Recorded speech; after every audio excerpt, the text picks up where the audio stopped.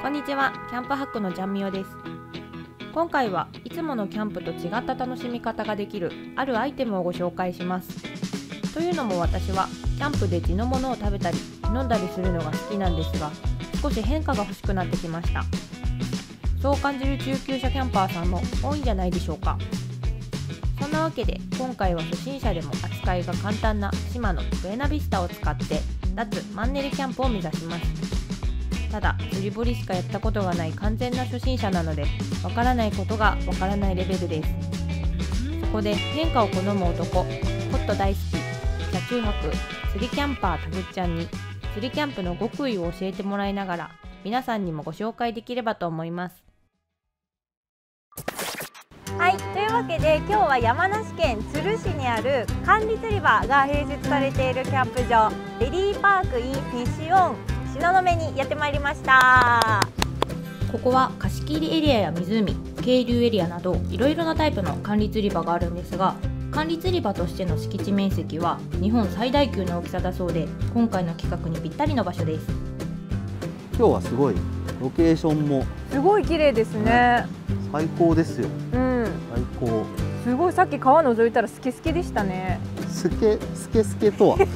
難しい表現使うね、うんすごいなんかもう。まあ、今日ちゃんみょが釣りしてうん美味しい魚食べたいっていううんいやほんとほんとそう。そうところで誘ってもらったけどまあそんなあの釣りが上手なわけでもないので ね、またまた。釣り好きなだけまいやいや本当に。いや今回島野のブエナビスタはい。ですけど、釣りキャンパー目線で言うと何がいいんですか？まずはあの川でも海ではい。も釣れるっていうその汎用性の広さ。ああいろんな場所でそうそうそうそう。結構キャンパーいろんな場所にも行くじゃない。はいはい。そのついでにみたいなことであ釣れるっていうその良さが一つ。あなるほど。あります。あとはちょっと実際出す。このロッドとリールってうん2つがセットになってて、うん。うん普通は分かれてるんですか？魚によってうん。もうロッドが違うんですよ。幅広く使える1本として全部セットえー、ですごい。安いやつで、うん。ファミリーフィッシングセットみたいうんな、うん。同じようなセットで売ってるものもあるけど、うん。シマノで1万円っていうのは個人的にはコスパの良さも含めて初めての1本にはおすすめしたいセットです。なるほど。ありがとうございます。はい。長々と長々と喋っちゃったけど。早速早く釣りたくなってきました。釣りたくなってきた。うん、この釣りする時ってうん。竿けで釣れるってわけじゃないですよ。他にもいりますよね。いります。他にもいります。おーなんかそのケースもかっこいいな。釣り用のケースですね。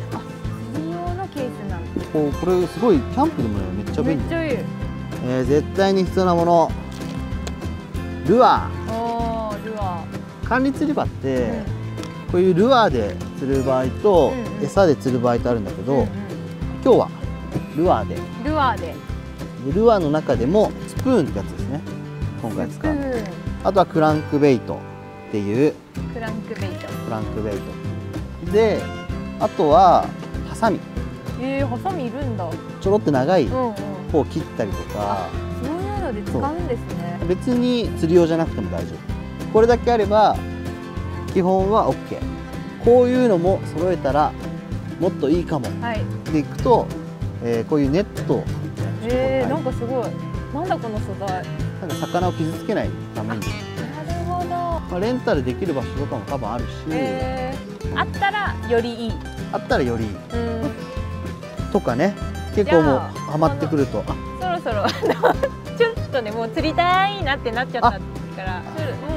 うん。いやもうちょっと もうちょっとだけもうちょっと帽子とかはかぶったあ方がいい。帽子あ帽子帽子あの帽子やっぱ針投げたりするとほらなんかこんがらかってあ危なかったりするから。であと釣りのじゃあじゃあちょっとね 個人的に紹介したくて。違う違うあのね、まあ、あ偏光サングラスって。あの光でどんどん。光の反射を抑えて、うん。結構水の中まで見えるみたいな。あそんなのがあるんですか？えっと普段の眼鏡にこうやってパチッとつける。スタイルえこう川の中がよく見えるっていう。ー、なんかいつもと全然違うじゃんいやねこれ釣りする時はこういうこういう感じですよ。えそうなの？するとなんかまあそれっぽいよね。今日ないんですけどいいんですか？なくてもまあまあいいまあ君は初心者だ からか歩いるか行きますか？行きますか？行きますか？歩いて。行きますか？いやめちゃめちゃネイチャーよ。ね。そう。うわすごい綺麗。こっちやばいね。めっちゃ綺麗いやめっちゃ綺麗だな。ね。この間ちょ失礼しますかね。うわすごい。こんな綺麗なところでできるの。なんか管理釣り場ってもっとすごい釣り堀みたいな濁ってるの想像してたんですけど。こんな綺麗なんだ。本当の川をこうやってなんか区切ってあ区切ってやるという。ーあー確かに区切ってあるわ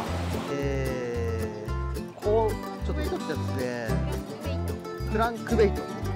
何かとかとかとか。そしたらそのそれを締め集まったね OK で。あそうそうそうそうそうそう。それ。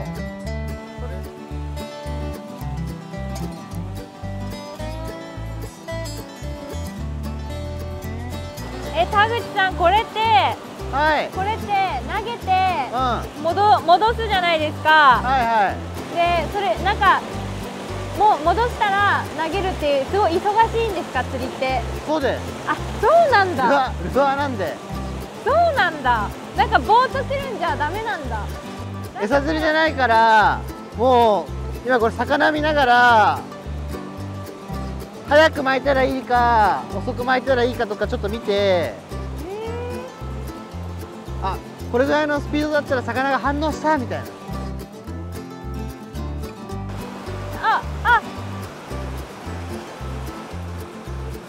かけてきた？うん触られた。あそうだ感触ピクってね。うん。えそういう時は？そういう時はどうしたらいいの？もうでも合わせるとかあるけど、うん。まあ慣れに巻いてりゃ引っかかるでしょこっちの方がまだねあの可能性を感じる。全然ね興味示してくれないんだよな。うロットった方がいいのかな？あー来ました。来ました。やったー。いやー引いてます。いやーすごい。あーほら。ほらこんな元気な。ちょっと待っ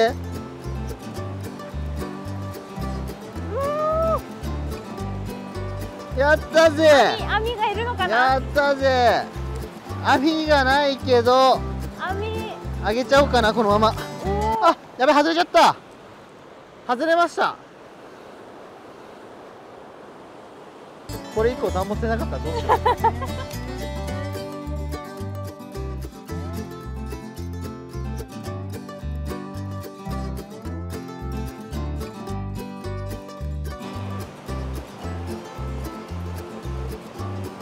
来ました。田口選手釣り上げていくこの男。え次こそは次こそあー外しました。バラしました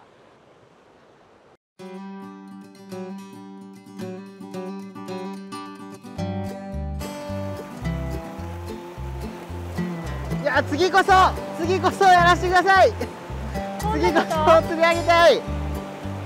さあ来た来てる来てる来てる来てるもうゴリゴリゴリゴリゴリ巻くゴリゴリ巻くもう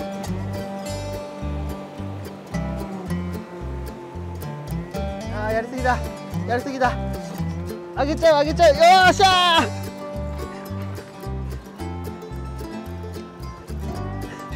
ーやったジマスでーす。ニジマスやなありがとうございます。いや3度目の正直。これおーほら見てください。すごいすごいほら見てください。やりました。ーイエーイ。これで食べれる夕飯。夕飯ゲット。イエーイ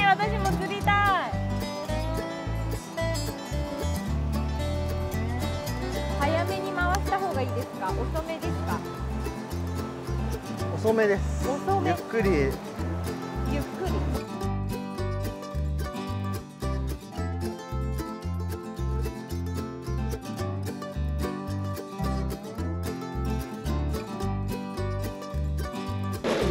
来た来た来た。来た来た。よしよしよしよしよし。来た来た来た来た来た来た来た。来た。来た。来たちょっと待って網持ってきます。そのまま慶太郎さん。慶太け長谷部来た来た来た来た来た来た。来た来た来た来たメインのカメラやりました。ー外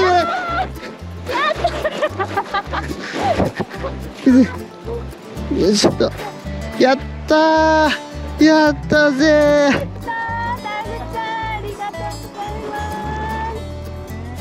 じゃあちょっとちょっと待って。このこのカメラでこれで撮れてんのかな？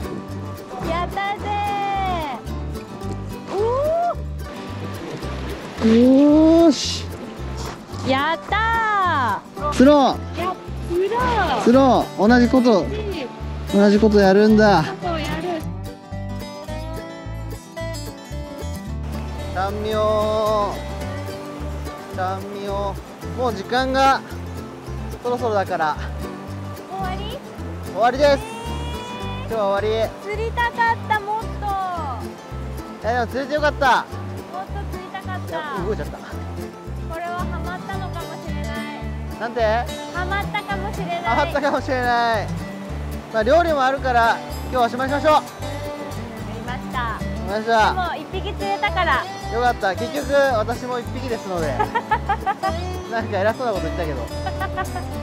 じゃあキャンプサイトに戻りましょイエーイ。ということでサイトに戻って釣れたニジマスをそれぞれアクアパッツァとニンニクバターレモンで焼いてみました。釣ってからすぐに調理したのでクーラーボックスで冷やす必要もありませんでした。う完成！イエ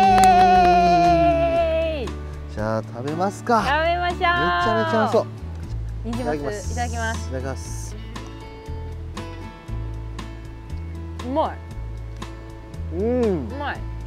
美味しいわ。うん。おうまなんか川魚とは思えない肉厚さうまいわ。なんか美味しいな。思ったより美味しい。全然癖ない。美味しい。そんなところでうん。こいつですよ。結構味付けはシンプルですよね。シンプルっていうかもはや何にも塩コショウしてないっていうか。塩コショウバターレモンどう？まい！え本皮パリ皮パ本当リいやめこれ皮めっちゃうまい。これめっちゃうまいわ。皮目やばいよね。やばい。うまうんうまいな。いなんかあのタラみたい。あー。タラも白身魚だもんね。うん。これ自分で釣って食べるじゃないですか。それがやりたかったんだもんね、うん。だけどね今やうん、釣りたい。あつ 今や釣り釣りたいも勝ったうん勝っちゃった。すごい。なんかキャンプしてるって感じすごい出るあー確かにね。で今日はニジマスだったけどはい。あの海も釣れるっていうことじゃないですか。ああブエナビスタがね。そうだからなんかちょっと違うのも釣りたいなと思いつつだけどちょっと船釣りとかはなんかハードル高すぎだなと思ってて。そうね船はねちょっときついかも。この竿だと。なんかサクッと、ハゼ釣りとかハゼ？ハゼって結構河口にいるんだけど、うんうん。7月とか8月はうんうん。ハゼの数釣りって言ってこんな手のひらサイズのハゼがいっぱい釣れるんよいやそうなんだ。すっげえ簡単にいっぱい釣れてそれ内臓の処理もなくて 全部塩でつつけて揉み込んで、うん。天ぷらにするとかめちゃめちゃうまいの。あそうなんだ。えー、そうなんだ。それはもうすぐ気軽にできるもんなんですか？いける。ちょっと試しに明日なんか帰りにちょっと1時間とかやってみるのはありです。ハゼ釣り来ました。ハゼ釣りは磯目というミミズみたいな餌を使うんですが私にはちょっとハードルが高かったです。うわーびっくりした。それ触れないかもただ心優しいタグちゃんは磯目によく似た疑似餌も準備してくれていました。だ。ちょっと遠くないですか？これ大丈夫？これこれ違うから本物の磯目に比べると釣りの難易度は上がるようです。あとは水辺まで距離があるのでこのようなロープ付きのバケツは必要になってきます。また注意点としてはここは柵があるのであまり落ちる心配はありませんが堤防や漁港の時はこういったライフジャケットをつけるようにしましょうえー、実際に釣っていきましょはい。うえーっとね投げ方は、えっと昨日の管理釣り場で投げたのと。同じ。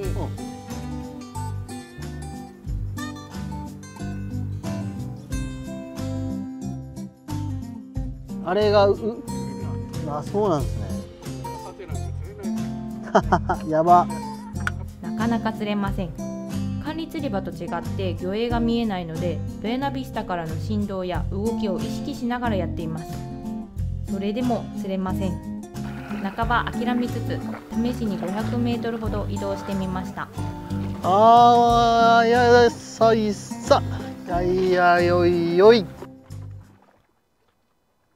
あー釣れた釣れた釣れたやったー。やったー。これハゼ？ちょっとちょっとハゼハゼハゼ。そっち何にそっちによ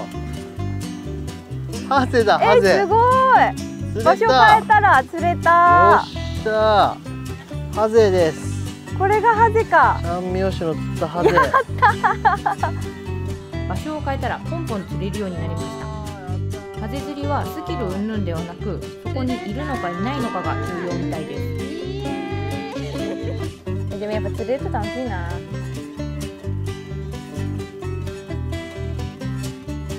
ことでこの2日間の強化はニジマス2匹ハゼ6匹でした。初心者の私にとっては管理釣り場とハゼ釣りの難易度がちょうどよくて攻略する楽しさも味わうことができました。次は一気に難易度を上げて生餌を使わない点からに挑戦します。以上キャンミヤでした。ありがとうございました。